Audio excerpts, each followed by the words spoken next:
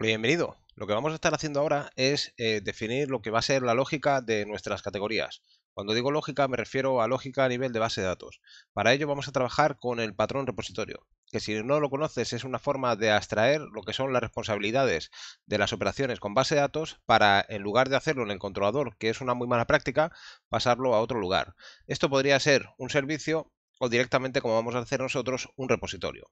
La ventaja de los repositorios y del patrón repositorio y de la forma en la que nosotros lo vamos a hacer con inversión de dependencias es que en principio vamos a utilizar Eloquent, que es el ORM del Laravel para comunicarse con bases de datos, pero si quisiéramos cambiar de Eloquent a Doctrine sería muy fácil hacerlo, solo tendríamos que crear una clase que utilizara Doctrine y automáticamente todo seguiría funcionando sin modificar la lógica de nuestros controladores. Esta es la gracia de utilizar este tipo de lógica y este tipo de funcionalidades que tenemos en cualquier lenguaje de programación. Al final son patrones de diseño que nos ayudan a conseguir resultados sin tener que eh, realizar un código demasiado complejo y de mala calidad.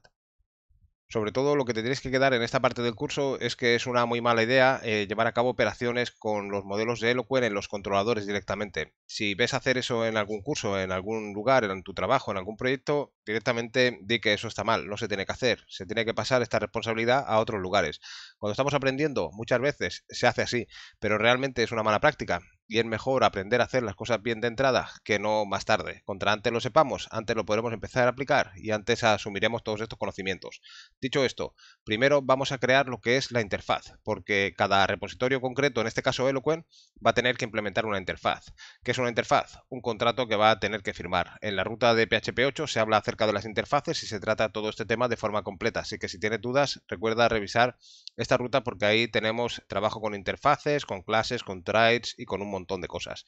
Dicho esto, vamos a empezar por crear nuestra interfaz con el comando make interface que aparece en Laravel 11 y le vamos a decir que vamos a ubicarlo en el directorio repositories category y va a ser category repository interface. Es el namespace, pero va a quedar representado al mismo nivel en lo que es estructura de archivos.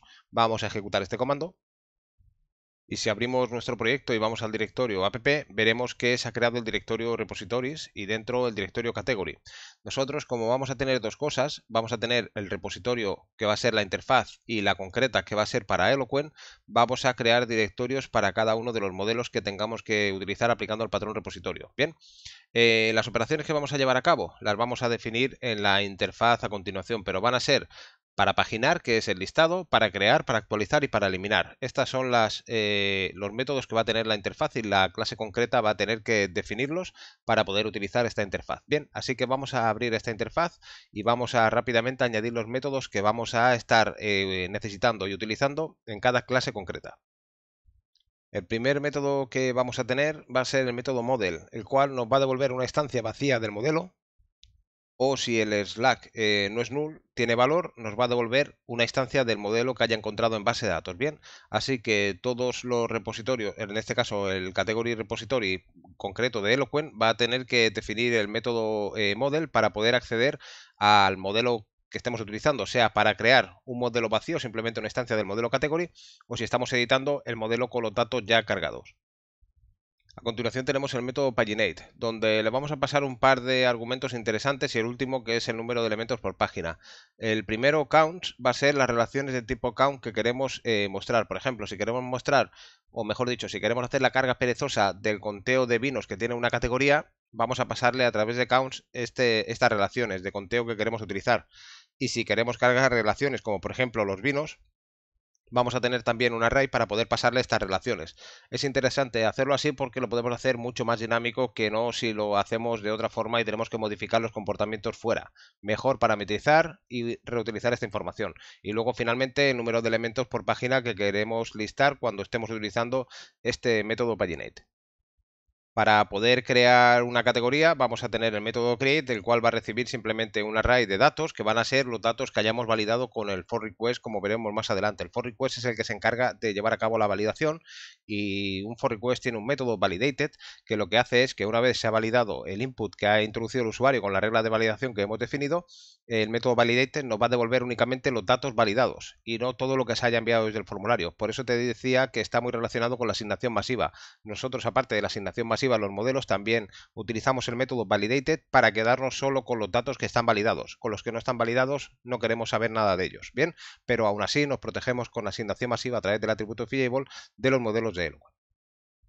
El método update va a ser igual que el create, pero además tiene la categoría, porque queremos actualizar una categoría concreta. Y la categoría concreta nos la va a servir a través del Road Model Binding eh, Laravel con el sistema de rutas. Así que no tenemos que acceder a ella, sino que accederemos a ella de forma automática cuando estemos em, accediendo al método de edición de lo que viene a ser una categoría. Bien, así que el sistema de rutas del Laravel con el try hatch slack que definimos y todo lo que hemos configurado automáticamente nos servirá esta categoría que vamos a pasarle al método update de nuestro Eloquent repository cuando definamos la lógica de actualización de, de una categoría.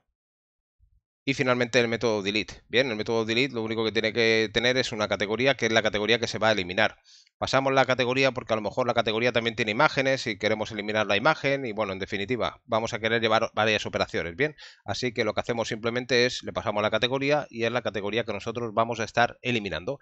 Y esta sería una interfaz en la cual para que eh, las categorías empiecen a funcionar y las podamos implementar, tenemos que crear otra clase que implemente esta interfaz y que defina todos estos métodos, el método model, paginate, create, update y delete. Todos estos métodos son los métodos que vamos a necesitar a priori para poder trabajar en nuestro caso con el listado y el CRUD de categorías. Bien, así que nada, en este punto lo dejamos, ya tenemos lo que es nuestra pequeña interfaz. Y lo que tenemos que hacer ahora es crear el repositorio concreto, la clase concreta, pero antes de eso vamos a crear un trait que vamos a reutilizar más adelante y este trait lo que va a hacer es em, poder ser utilizado por los repositorios para sobreescribir, o mejor dicho, para automatizar lo que es el método model, el método paginate, el método create y algunos de estos métodos que podemos reutilizar de una forma muy fácil en una clase para que luego automáticamente los podamos utilizar en aquellos repositorios concretos y no estemos duplicando código ya que tendríamos la sensación de que estamos haciendo dos veces lo mismo. Y siempre que tengamos esa sensación, lo mejor que podemos hacer es parar y pensar en refactorizar. Un saludo.